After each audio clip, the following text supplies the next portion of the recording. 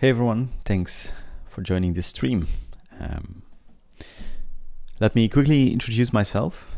My name is Brent, I'm a backend developer. I work for a company called Spatie in Belgium, and I mainly work on Laravel projects and a significant amount of open source packages. I'm also a blogger. My blog is called stitcher.io, and I'm a little bit of what some might call an author since I'm writing a book on how Laravel projects can be improved by applying DDD principles on them instead of following the best practices provided by the Laravel community. You can read it today, again on my blog, it's called Laravel Beyond CRUD. Finally, you can find me on Twitter, so if you have any question that you uh, want to ask me, uh, you can reach me over there.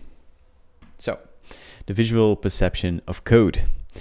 Today, I'll argue that how your code looks uh, will have an immense influence, and not only on yourself, but also on your colleagues and friend developers. Now, to be honest, it's a difficult topic to talk about, and that's for many reasons. For one, how something looks, beautiful and structured or not, is very subjective. It's an opinionated and personal thing to talk about. It's also controversial because there are standards. Is it okay to argue against them? And third, it's a topic that for many people is out of their comfort zone. People are used to their way of writing their code, and there often doesn't seem to be the need to change that. However, I also mention studies and facts today, trying to prove to you that it's more than just an opinion. And I hope that by reasoning together, we can touch some topics that you haven't thought about before in this way, and it can broaden your thinking. Now, before diving into these topics, we have to take a look at the exact problem. As professional programmers, we're writing a lot of code, but we're reading and scanning even more.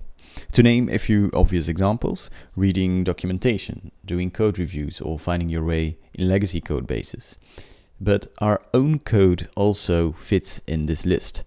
Ask yourself how many minutes a day you're actually typing code and compare that to the amount of time spent reading and figuring things out, trying to understand what's actually written.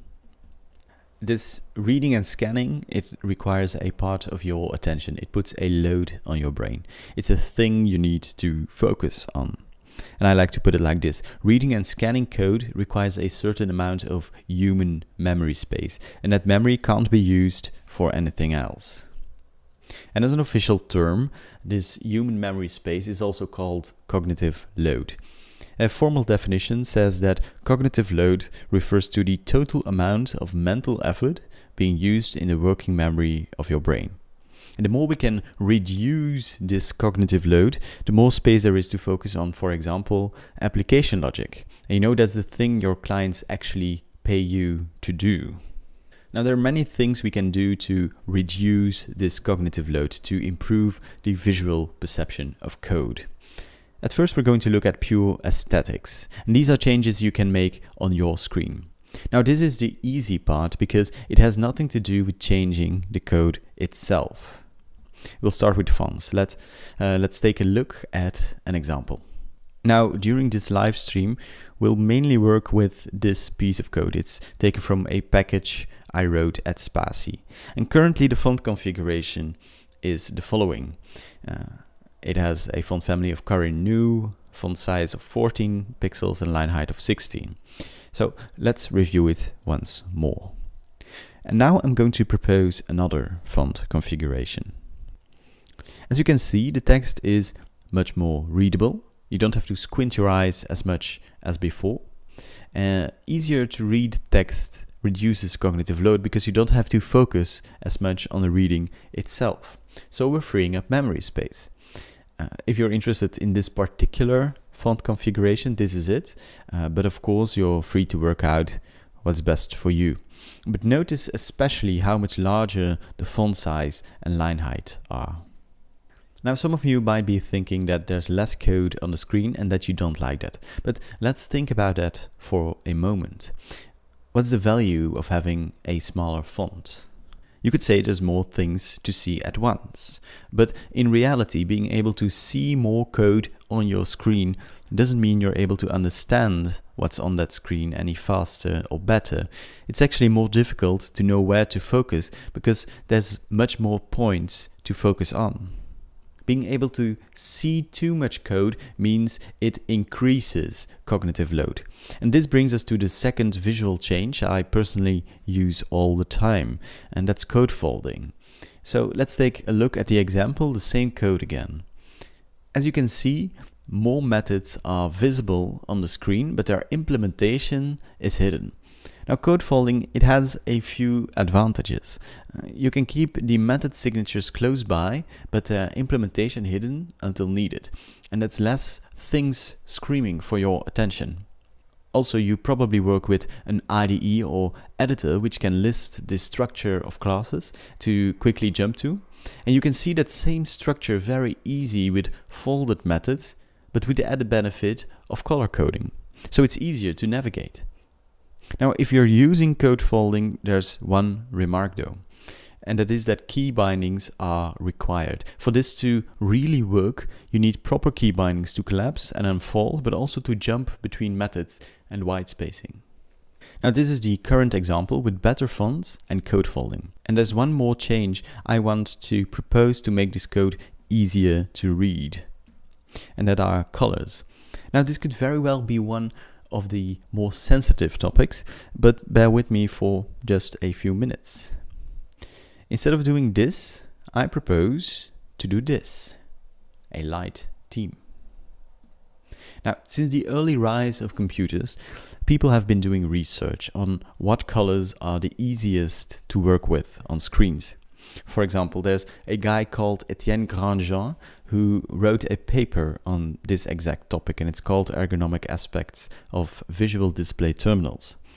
It turns out that a dark text on light backgrounds is easier to read than the opposite because the dark parts automatically draw your subconscious attention. Now, many people tell me that a light color scheme hurts their eyes, and it's important to note that the brightness of your screen isn't the same as the contrast of the text. In this case, for example, I'm using a color scheme created by Mozilla for their DevTools, and a lot of research went into picking these colors to make them have very high contrast. Now, that doesn't mean that the brightness of your screen must always be 100%. Light themes are actually more easy to read on a dimmed screen compared to dark ones. It's the brightness that hurts your eyes and not the contrast. I would really encourage you to just try it out for a week. Uh, I personally got used to a light theme in just a few days and since then never wanted to go back. It's of course a little personal, I understand that, but remember, easier to read text reduces cognitive load. So to recap, in this first part, we looked at things you can do to make the code on your screen more readable. And this was the easy part because no other people are affected by these changes. Next up, we'll talk about the structure of code. And as you can imagine, this is the more difficult part because now we're messing with things others are also affected by. Let's talk about curly brackets first. As web developers, you're probably aware that people don't read websites, they rather scan it. And that scanning usually happens from left to right, top to bottom. Now, the same can be applied to large pieces of code. You're not always reading every single character, you're scanning for patterns. The easier it is to find these patterns, the less time you spend looking around your code trying to find that one specific thing.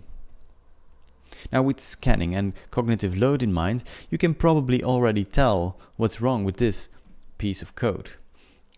The argument list is the problem. There's a lot of information there and it's pushed to the right. Now remember, we're approaching this from a visual perspective. We're not looking at the logic of the code itself. But how do we solve this? One solution could be structuring the argument list like this, pulling the arguments to the left. But this approach doesn't really scale when you're refactoring. For example, making this constructor a static constructor instead, you can see the alignment breaking. Another approach could be something like this, but now you're introducing several points of focus in your code. And I can visualize this by drawing some lines like so. Does the function start and end? The first and third argument align with the method body and the second and fourth don't really align to anything.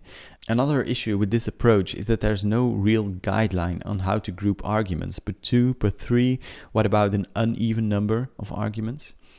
So moving on to what seems like the only consistent yet easy to understand way of structuring the argument list. Now, some of you might already see the problem, but I want to make this really clear. So let's replace all code with axes to see its structure. Can you see how difficult it is to spot where the argument list ends and where the method body starts? There's the curly bracket at the right, it, it, indicates the end of the argument list, but the right side isn't where our focus is by default. So it turns out there's one true place where to put that curly bracket on a new line. Now this visual boundary creates a pattern that we can scan for. And this is the end result. Now, by the way, this example isn't my own. It's made by a guy called Kevlin Henney. Uh, he's a programmer and a writer, and he has a very good eye for these kinds of visual patterns. So if you want to know more, definitely go check him out. When you start focusing on visual patterns in your code, you'll discover that you're already using some. This is one of the most important reasons there's a style guide provided by the FIG. It's called PSR2 and PSR12. But most likely there still are some places in your code where you don't actively look for patterns. And those are the places which take the longest time to search for specific things.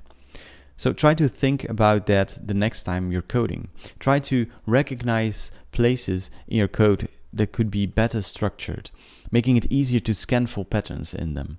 And also talk about this with your team to make it consistent. Now moving on to the last two points, I want to let the code do most of the talking, so to speak.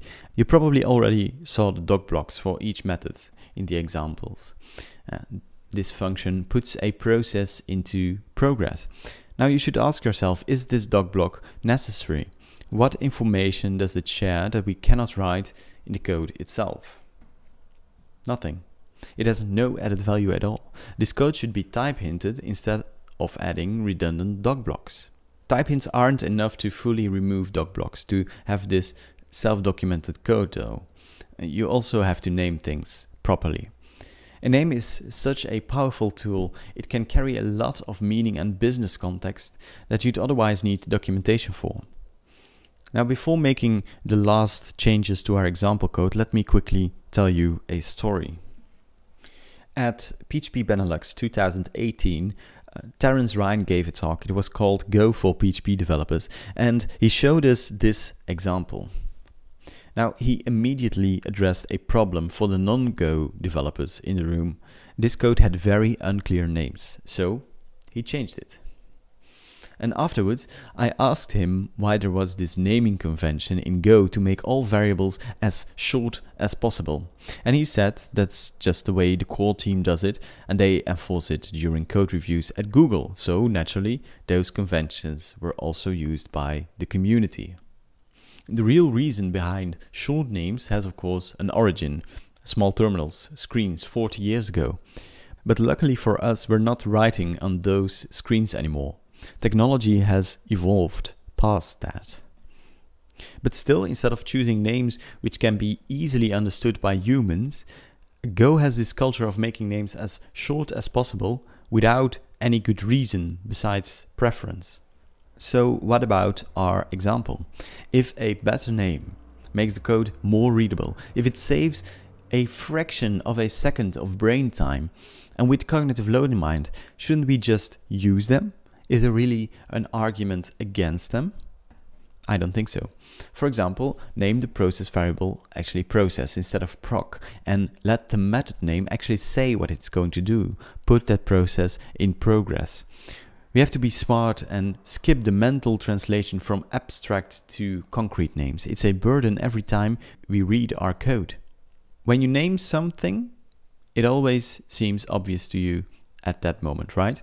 But does it still after a day or a week? Do you need doc blocks to explain what the code does, or is it clear by its name? And not only to you, but also to the ones who have to work in your legacy code base once you're done. Two more examples. Does this class mean a user was created, an event, uh, or does it represent the mail that's sent out when that event happens, or maybe it's the name of a notification? Let's just skip the possibility for confusion altogether and use explicit names. So the last one, is this a command to create a user? Is it a request class containing the validation rules? Or is it uh, a job which creates a user? Again, let's not waste time thinking about this. Spend your brain power on more important stuff. If you're thinking along, you might think of namespaces as a solution instead of longer names. And there's two problems with that solution though. First, there's the issue of naming conflicts. And here's an obvious example taken from Laravel, and mind you, these are actually community accepted standards. Here we have a model and a resource. Now, a resource is a class that transforms models to JSON responses for API calls.